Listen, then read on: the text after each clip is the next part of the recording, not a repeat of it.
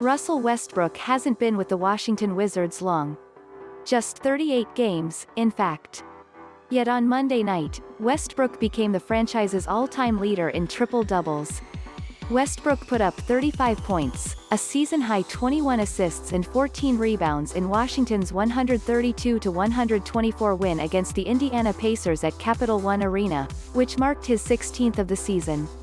Darrell Walker held the organization's last record with 15 triple-doubles, something he did over 283 games between 1987 to 91.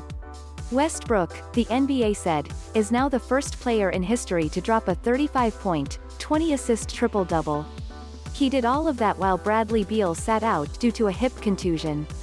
I've been saying it, there's no other way to say it, there's six letters, and it spells out winner, Wizards coach Scott Brooks said of Westbrook, via the Washington Post.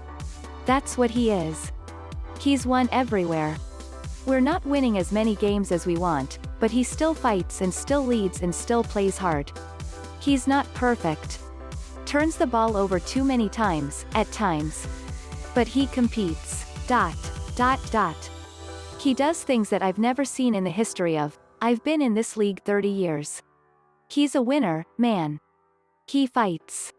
Westbrook is currently second on the NBA's all-time triple-double list, trailing only Oscar Robertson by 19. LeBron James is the second highest active player on that list, though only has 99 to his name.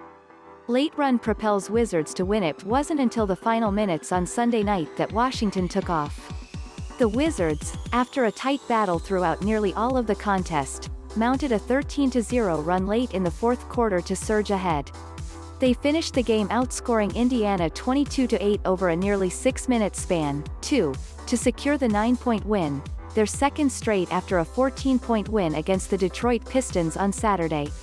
Domantas Sabonis led Indiana with 35 points and 11 rebounds, and Malcolm Brogdon added 26 points.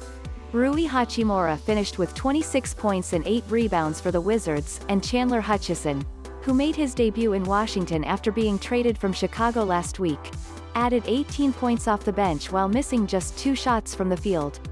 The mindset was to go out and be aggressive and make sure I set the table for my teammates like I've been doing all year long and make sure they have confidence going into the fourth, Westbrook said after the game. When the fourth hits, it's time to take over. In just 38 games, Russell Westbrook now has more triple-doubles than any other player in Washington history. Will Newton, Getty Images. More from Yahoo Sports. Thamel, UCLA reaches Elite 8 by beating a buzzer-beater Eisenberg. Which remaining teams pose challenge to Zags? Negley. Longhorns pull off biggest women's tourney upset did NFL free agent deal leaked during online Call of Duty game?